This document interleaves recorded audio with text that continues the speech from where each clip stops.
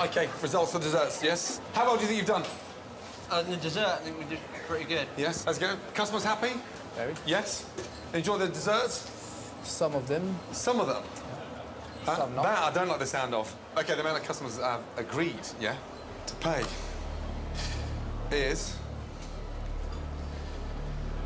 Oh, damn. Damn, that is a big kick in the bollocks. 31 out of 50. What? Why? We had the size of the uh, pancake. Too small? Too big. Too much food? Too much They food. complain about the size of the portions. Yeah. For five pounds? Oh my god. I'm not impressed. Right, okay.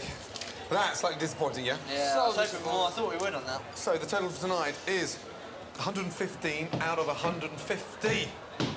We wanted to win. Yeah, I know What you wanted to win. start Uh, it was a great start. I, Yeah, I- I- the dessert, I You can so well leave the F word restaurant with your heads up high, yes?